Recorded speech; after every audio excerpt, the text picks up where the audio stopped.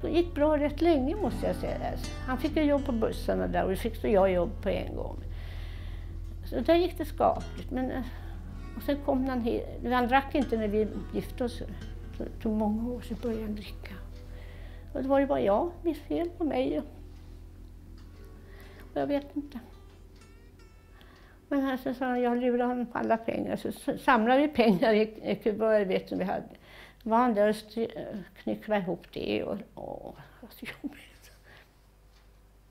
Nej, spriten tycker jag var värst. Jag, ta, jag skulle tala om en julafton. Jag stod där inne och skrek, jag måste klara av mig, lägga mig. Så jag gjorde det. Men, åh. Och se de där ögonen, fy sjuttsingen. Hade jag vetat så skulle jag inte ha gift mig. Men man vet inte hur man får det.